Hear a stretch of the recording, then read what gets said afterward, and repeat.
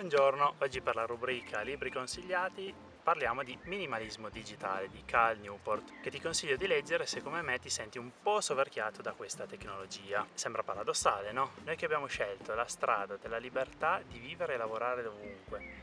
Tramite la rete e grazie a questi strumenti informatici ci troviamo totalmente in balia di esse certe volte ed è proprio qui che nasce il mio bisogno di leggere questo libro. Vediamo innanzitutto come l'autore definisce minimalismo digitale. È una filosofia d'uso della tecnologia secondo cui l'utente dedica il proprio tempo online a un ridotto numero di attività accuratamente selezionate e ottimizzate per sostenere obiettivi e valori importanti, trascurando felicemente tutto il resto. E a me questo felicemente mi fa impazzire. Ecco, forse ti aspettavi che me ne uscissi col libro cartaceo, invece è venuto fuori il Kindle Beh, non nascondo che il libro cartaceo ha tutto il suo fascino, respirare il profumo di carta è impagabile, però è chiaro che se ti muovi un pochettino, se leggi tanto, il Kindle ha tanti altri vantaggi che tra l'altro sposano perfettamente la filosofia del nomadismo digitale, quindi essere più sostenibili, consumare meno carta. Il libro si divide in due parti. Nella prima si analizza meglio il concetto di filosofia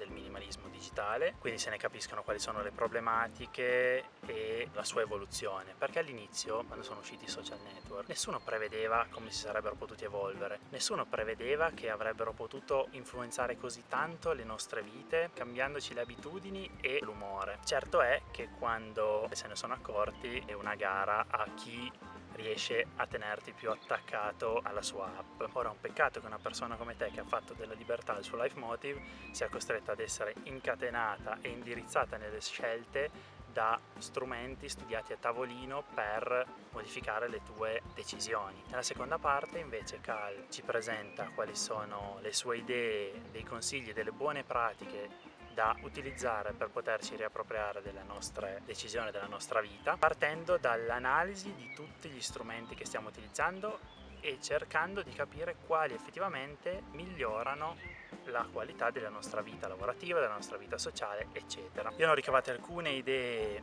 abbastanza interessanti che ho applicato da qualche mese e dal mio punto di vista sono efficaci, in particolare su due aspetti. Il primo riguarda la messaggistica. Lavorare da remoto ti espone a delle micro interruzioni di notifiche, di messaggi, eccetera, che disturbano la, la tua attività lavorativa.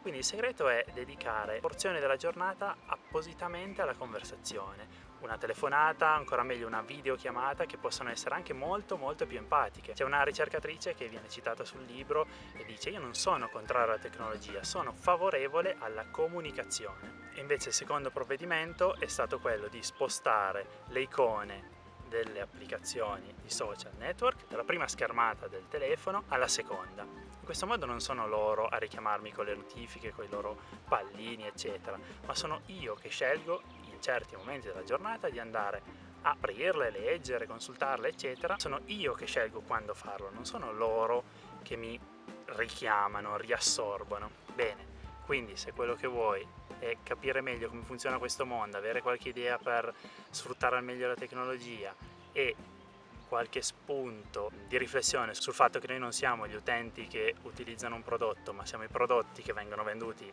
ad altre aziende, questo è il libro che dovresti leggere.